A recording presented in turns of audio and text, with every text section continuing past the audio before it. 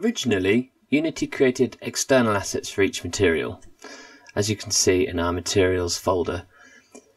This meant that the FBX did not reflect the structure of the file, and the assets folder would be populated with materials and textures and eventually contain redundant files and complicate source control and collaboration. But from Unity 2017.2, we've included a materials tab, and you can preserve embedded materials in the FBX by selecting the Use Embedded Materials.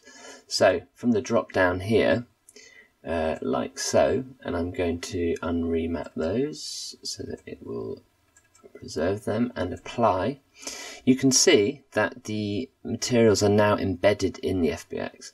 Now, that enables you to support round tripping. So we can output these and go back into Max or Maya with those materials, uh, which is very handy. But of course, the um, legacy behavior is still accessible in the materials tab here.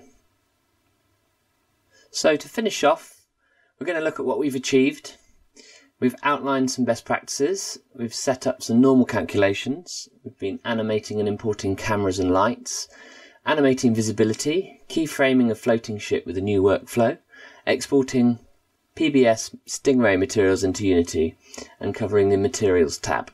So now I can enable some post effects uh, on here um, and hit play, and our scene is complete.